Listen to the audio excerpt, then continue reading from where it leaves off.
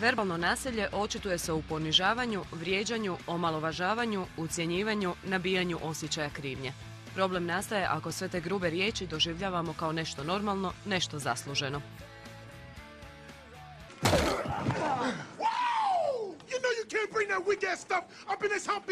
Pričamo o verbalnom nasilju, onda moramo sve da je to nešto što se događa unutar jezika, ali da implikacije toga, posljedice toga, štete toga i temelj za verbalno nasilje nalazimo u nečem što je unutar društva.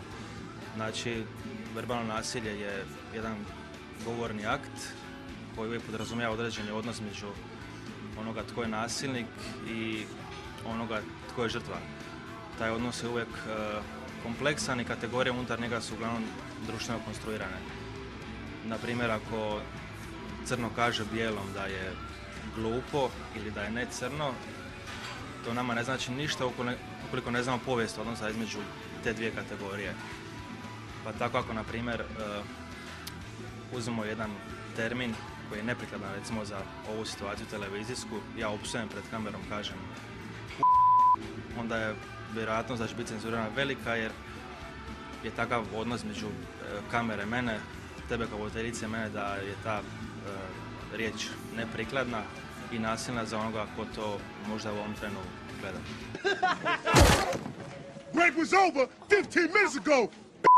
Definicija verbalnog nasilja je zlouporaba moći. Tu se ne radi samo o slučajevima kada jedna osoba viče na drugu, već o puno širem modelu agresivnog i nasilničkog ponašanja. Ono često ne podrazumijeva bombardiranje žrtve psovkama ili uvredama povišenim tonom. Dovoljne su ironične izjave kamuflirane u konstruktivnu kritiku. Bilo da ima oblik vrijeđanja, sarkazma ili izljeva bijesa, efekte verbalnog nasilja je ponekad puno teže izliječiti od posljedica fizičkog nasilja. Sigurno da ostava nekakve posljedice. E, recimo ako imamo situaciju svakodnevnu, nalazimo se u kafiću i čujemo kako gost, najčešće muškarac, naziva konobaricu malom. Unutar jednog sustava, recimo patriarhalnog društva, ona je mala zato jer je on velik, zato jer ona ima manju moć od njega i svakako to može ostaviti posljedice na konobaricu. Može ostaviti posljedice na konobara recimo, ako njega neko nazove mali, opet muškarac, čak je nebitno koja godina, koja godina imaju ljudi koji govore, e, jer sam osobno se doćio da recimo momak od nekih 20 i nekoliko godina naziva konobaricu koja je starija od njega malo. Dakle, godine uopće ne igra neku ulogu. Već vam govore puno znači o, o recimo toj spolnoj definiranosti ovoga, tih odnosa, o prestižu tog zanimanja, o moći tog zanimanja u društvu kako se ono percipira. Ali što se tiče posljedica, mislim da ljudi koji su izloženi takvom nasilju, ajmo reći konobarice i konobari, da mogu postati uh, najblaže rečeno uh, frustrirani time što dolaze na posao svaki dan u takvu jednu ovoga, atmosferu i sredinu gdje ih tako, rečima nazivaju. Jesi kad svjedočio tome da gošća kaže konobar je mali donese mi veliki maket? Ne, zato jer e, sustav je takav, mislim da konobarica ili konobar mora biti krajnje ovoga sumisivna prema svojim klijentima. Međutim, to nije onak e, fraza koja se često ponavlja da je mušterija uvijek u pravu, jer to nema veze s time zapravo. Radi se o tome da u takvoj jednoj situaciji muškarac vodi e, glavnu riječ, ima pravo diktirati taj odnos koji je, kao što vidimo, vrlo često nasilan. Jel se može onda pod, e, u skladu s, s, tom tvojom izjavom definirati tko su nasilnici, a tko žrtva? Da, mislim, e, teško je bilo sad stereotipizirati reći da su svi muškarci koji dolaze u kafić nasilni prema svim konobaricama i konobarima. Uvijek treba uzeti u obzir jedan kontekst unutar koje se tako nešto događa, primjerice ako je to neka svakodnevna situacija, kafić, postoji tendencija da se takve situacije e, ponavljaju. Ono je rašireno, mislim, apsolutno svakodnevno među svim grupama, unutar grupa nije važno ovoga, e, nije toliko lako svaki put uočiti e, neke suprotstavljene strane kao što je bilo crno i bijelo recimo. Studije dokazuju kako su osobe u 20. i ranim 30. godinama posebno podložne verbalnom zlostavljanju, prije svega na poslu, jer u tom životnom dobu grade karijeru. Kad se verbalno nasilje događa unutar obitelji ili e, na poslu, znači kada nas verbalno e, maltretira netko nama nadređen, kako mu se suprotstaviti? isto je teško dati jednoznačan odgovor na to.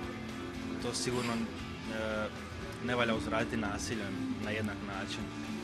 E, mislim da se tako nešto treba jednostavno e, gurnuti prema javnoj sferi, da problem postane javan i da se o njemu diskutira čak i na ovakav način unutar jedne televizijske emisije. Dakle, da se unutar obitelji jasno prikaže ko je žrtva, na koji način e, bio žrtva verbalnog nasilja i da se o tom problemu da diskutira.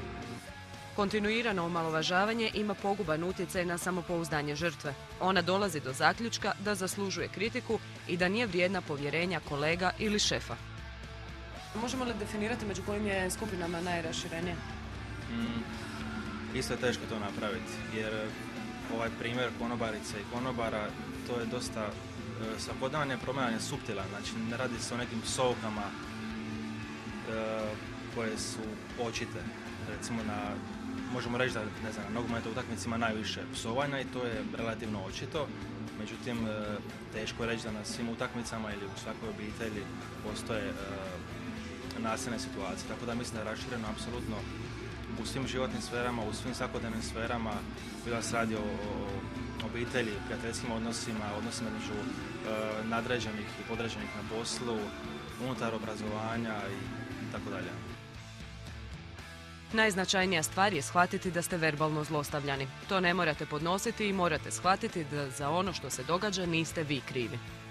Psovke stvarno ne moraju biti uključene da se događa nekako ponižavanje ili da se taj sustav verbalnog nasilja i dalje reproducira. Ako ćemo biti krajnje normativni, taj sustav e, unutar koji se događa nije pravedan, mislim da mu se treba suprostaviti tako da se reagira na njega, da ga se plasira kao problem u javnu sferu. Za kraj, ako na dva ili više pitanja odgovorite pozitivno i sami ste žrtva nasilja. Je li vaš kolega ili partner sklon izljevima bijesa i mora li uvijek biti u pravu? Koriste šutnju i sarkazam kako bi vas kaznio? Kada mu prebacite zbog takvog ponašanja, poriče li da je kriv? Jeste li poslije svađe zbunjeni i pitate se niste li uistinu sami krivi?